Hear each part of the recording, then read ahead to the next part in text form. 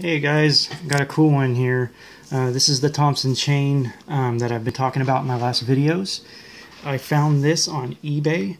It's a uh, 1964 Thompson chain and genuine cowhide and then the liner is a bonded yeah bonded leather liner so it's kind of tough flexible and it's actually lined so you got leather lined and it's in just excellent shape for being 50 54 years old or so. Um, obviously it was probably a little bit darker brown. The camera's showing it a little bit lighter than it is in person. So actually in person it is I'm trying to get the darkness to like that in the shadow. That's about how dark it is in person. So the camera's really bleaching out the color a lot. The lighting. But Look at that. It's just in excellent shape, guys. Check this thing out. It's not cracking. So I'm going to get some treatment for it just to give it a little bit more moisture. Because I can feel it's a little bit tough, but it's still in great shape. Um, the person's name's on there. Kind of. Steve Bryant, I think is what it says. But it's coming off. It's almost gone, but it doesn't bother me at all. Um, I love these old Bibles. These things are so awesome. And I found it for for me, as being a Bible geek, guys, this thing was cheap. It was like 30 $39 for an old Thompson. It's only got like three pages or four pages I found with a couple underlines and a, a bracket mark that somebody put, but relatively the whole Bible is pretty clean. So I'll show you guys. We'll just go through this slow and let you guys see it. 1964, printed in the United States. And the paper is just excellent, man. This shows you guys this India paper.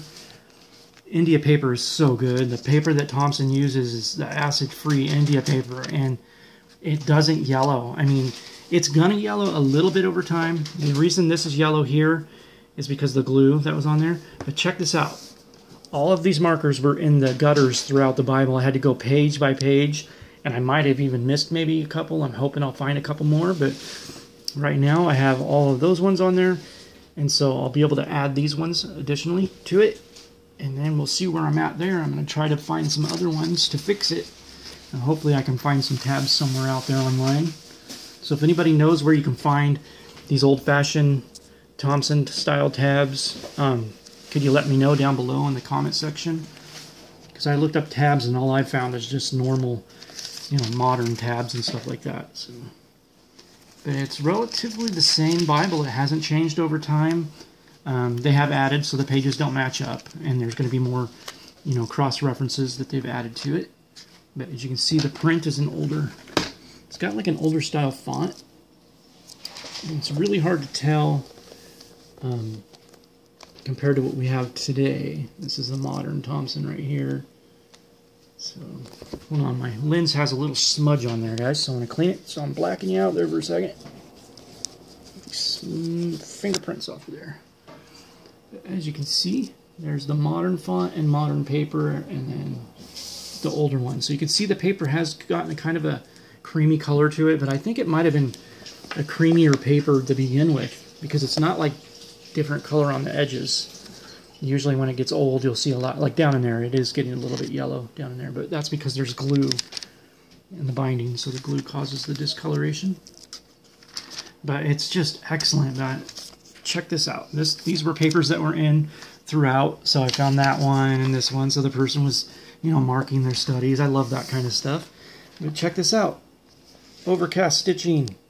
I'd love to see uh, Thompson start doing that again. I'd love to see them start doing leather lines again. That would be great. Leather liners would be awesome.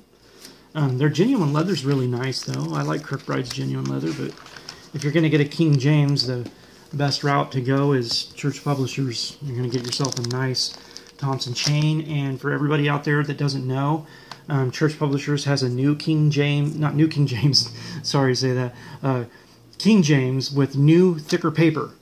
Um, so if you go there, they have the King James now that has, instead of, I think they said that the Thompson paper is a 20, um, 20 pound paper. Uh, I think it's, they're using a, I think it's 19 GSM, and now they switched to 26 or something. I don't know. You have to go in there and read it. But they do, um, they did start making it in thicker paper, which I'm I'm not happy with until I see one right now that kind of bums me out because personally I don't have a problem with Thompson's paper being thin. Um, it marks really well and it doesn't have bleed through. That's what I love about being able to write in this India paper. But this one has really good text. I, I love older fonts. I just love the older print. It does fade a little bit, so throughout the text you'll get a little bit of fading with the printing. I mean, overall, guys, I mean, the gold is still on there. 54 years old. There's no water damage. There's no stains. You know, nothing like that. The binding is all intact. I mean, even the ribbon's still there. 54 years old. You still got ribbon. I mean, it's getting thin, but I'll fix it, replace that ribbon, and start using this. And it is in, in red, so all you anti-red guys are going to go, no! It would have been really neat to find it in, in just black font. That would be great. That would have been really cool. But this red print is pretty good. I don't mind it. It's well done.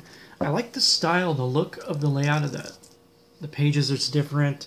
The print that they use, the font is a different font style. Um, people with an eye for your fonts, you're going to see how it has that older kind of typeset to it. You see the more modern font here the new one. So then you jump over here and it's a more bold, old school font. So yeah, it's really cool. And I love that I was able to find those tabs. That was like just little, little treasures I kept finding as I was going through each page. And you can see the ink gets darker on this page than some of the other pages. So a little bit darker, kind of bounces around a little bit. And Thompson's still doing that. But this is a really good print. I love this Bible. I'm so happy to have found this thing. Um, it doesn't match up with the new one. I checked the pages and stuff, so it is off. A little bit different. So the studies will be different in this one. But I was surprised to find that it's relatively the same in the back. The way that they set it up and the way they do it. I really like how dark it is. How dark that font is. Really, really cool. It's just a nice, clean font. Really good spacing. Love my Thompson chains, guys. I'll show you here the back end. You guys will recognize. It's got the themes. So you got all the book, the themes of the books, um, just like the same way it is now. Harmony of the Gospels, things like that. It's got all the same artwork hasn't changed over, over all these years. The King James has stayed the same. They just updated some text and added new references and stuff like that. that isn't that awesome, guys? $39. And come on. That's just crazy. But I want to show you guys the old maps. I love old maps in these Bibles. They just look so cool. And then you can see the overcasting. So we got overcasting maps. So the maps are all going to be holding on tight. So this Bible's going to get used. I'm not going to write in it. I think I'll keep it clean as possible.